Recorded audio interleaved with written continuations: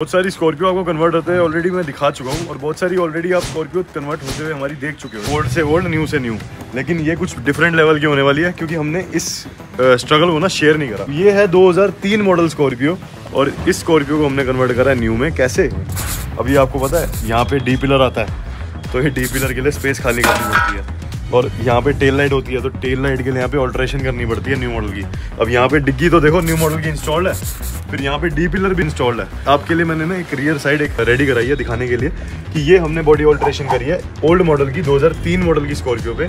अगर आपकी ये वाली प्रोफ़ाइल अगर इस तरफ़ से आप देखोगे ना स्कॉर्पियो की तो ये डी पिलर और टेल लाइट नई वाली इंस्टॉल इसमें हो चुकी है, जो कि इसमें नहीं आती थी। तो अब ये प्रोफ़ाइल है ओल्ड स्कॉर्पियो वाली, लेकिन अगर इसी साइड पे चलेंगे और अगर इस तरफ़ से देखेंगे तो प्रोफ़ाइल पूरी चेंज हो जाती है। सेम गाड़ी के ऊपर ये वाली प्रोफ़ाइल होगी, इसकी एस इलेवन वाली। अब यहाँ से एस इलेवन है और वहाँ से ओल्ड मॉडल है, लेकिन इसको हम प्रॉपर ही न्यू मॉडल में कन्वर्ट करने वाले हैं। 2003 से लेके 2022 हज़ार का सफ़र